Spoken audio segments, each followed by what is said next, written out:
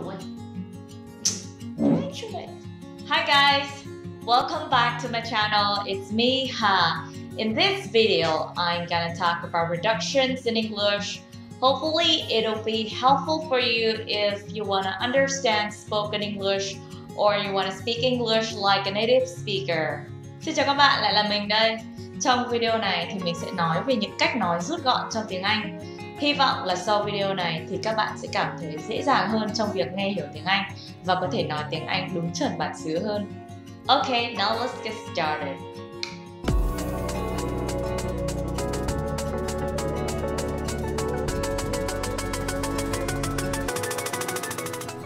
Nói rút gọn trong tiếng Anh được hiểu là những cách nói đơn giản và hiệu quả giúp việc nói tiếng Anh trở nên dễ dàng, trơn tru và tự nhiên hơn thường được dùng để nói hơn là để viết.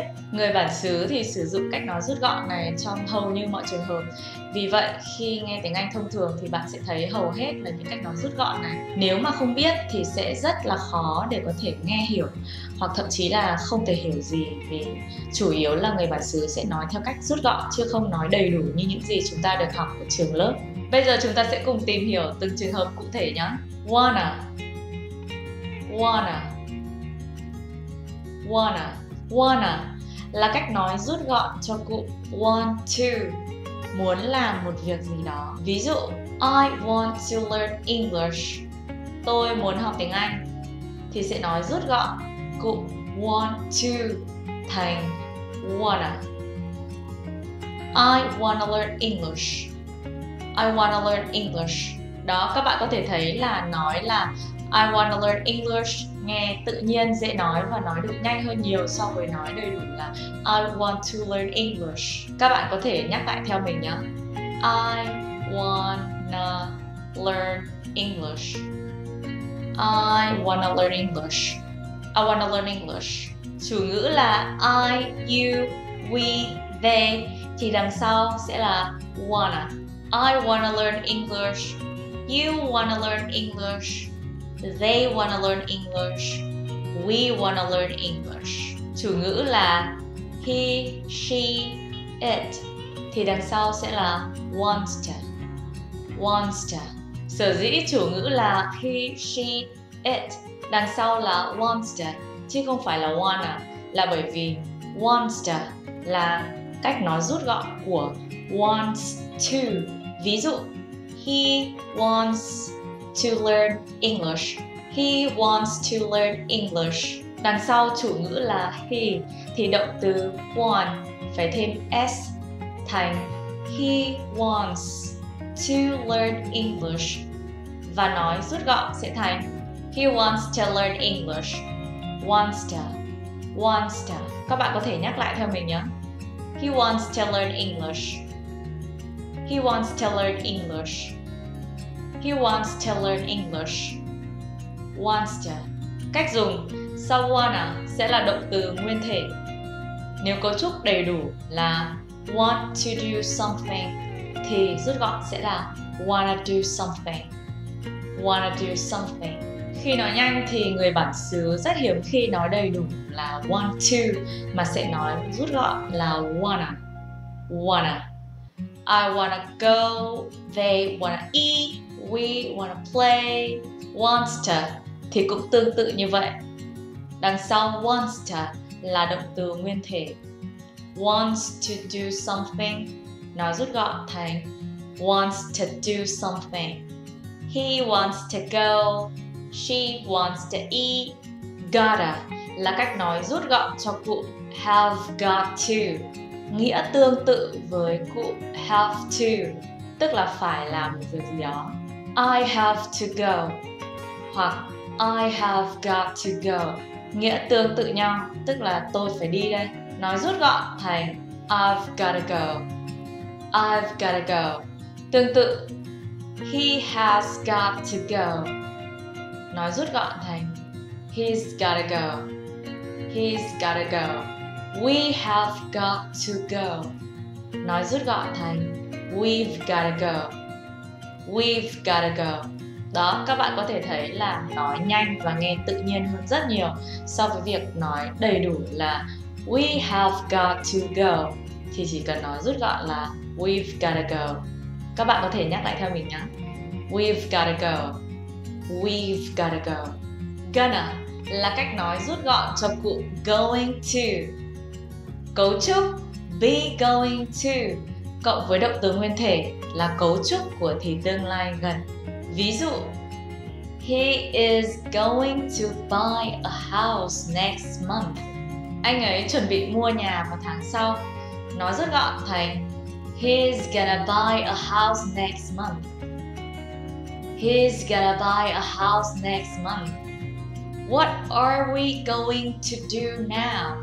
Chúng ta sẽ định làm gì bây giờ? Nói rút gọn thành What are we gonna do now? What are we gonna do now? Nghe tự nhiên hơn rất nhiều đúng không?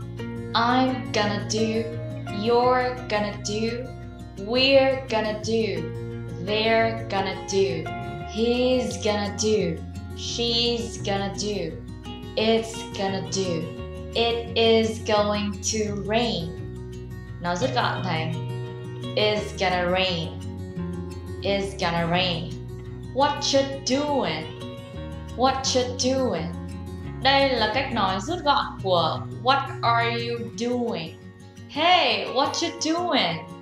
Đây là một cách chào hỏi rất thân thiện và thoải mái. Xin chào, bạn đang làm gì vậy? Còn nếu bạn nói đầy đủ và rõ ràng là What are you doing? Thì nghe có vẻ hơi nghiêm trọng giống như kiểu là bạn không thích những cái hành động mà người đối diện họ đang làm cho lắm Hey, what you doing? Hey, what are you doing? Các bạn mà tầm tuổi như mình hồi nhỏ thì có thể là ai cũng sẽ xem hoạt hình Phineas and Ferb ở kênh Disney Channel thì chị của hai bạn nhỏ này mỗi lần xuất hiện lại nói là What you doing? What you doing? Hồi nhỏ thì mình nghe chả hiểu nó là gì Mãi về sau lớn lên thì mình biết là nó là cách nói rút gọn của What are you doing? Đây là một trong những lý do mà khiến mình rất là ghét học tiếng Anh. Bởi vì là thầy cô dạy ở trên lớp một kiểu, mà đến lúc mà mình nghe ở trên TV hay ở trên báo đài thì nó lại là kiểu khác hoàn toàn. Cũng chả ai giải thích cho mình tại sao nó lại như thế cả. Nghe người Việt nói tiếng Anh thì được, chứ còn nghe người bản xứ nói tiếng Anh thì coi như là tịt luôn. Hy vọng là sau video này thì các bạn sẽ không gặp phải tình trạng như mình hồi trước nhé Vì các bạn đã biết được những cách nói rút gọn của người bản xứ rồi đấy to được nói rút gọn thành to hoặc the.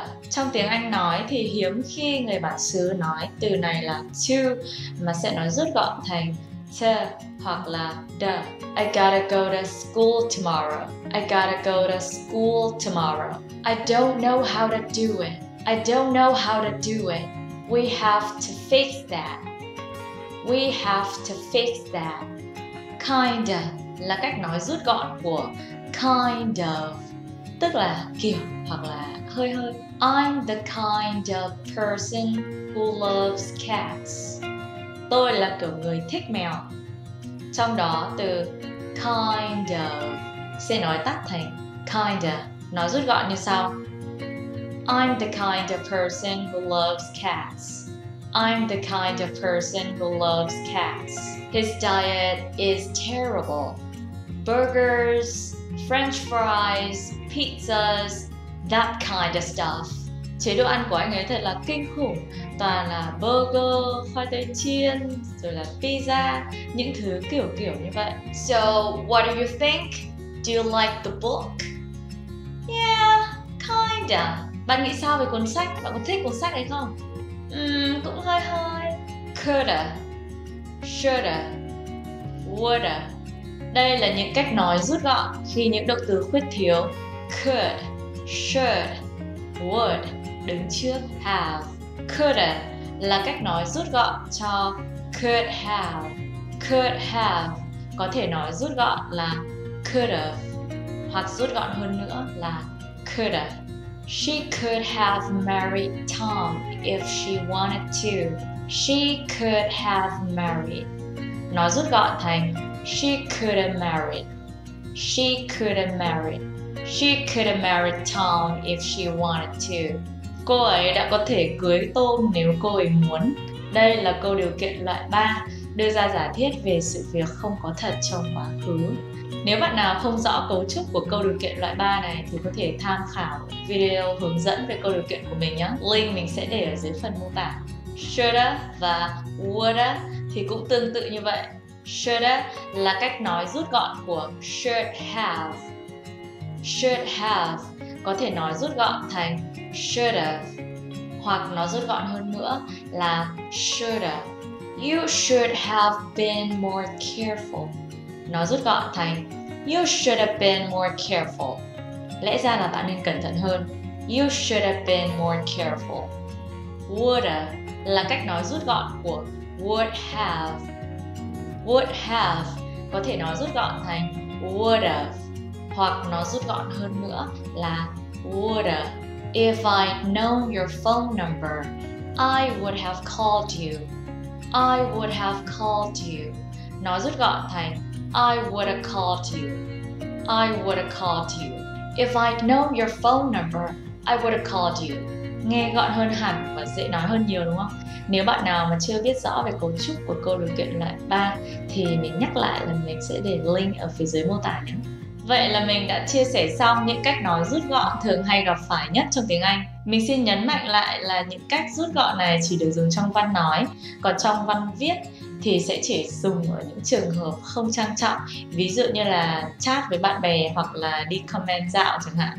Còn trong những văn cảnh trang trọng thì sẽ không dùng đến, ví dụ như là những từ wanna, kinda, coulda, vân vân thì sẽ không được dùng để viết luận văn hay là báo chí đâu nha. Nếu các bạn có thắc mắc gì hãy comment ở phía dưới video.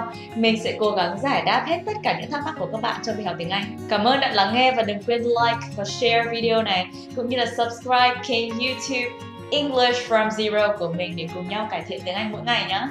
Bye!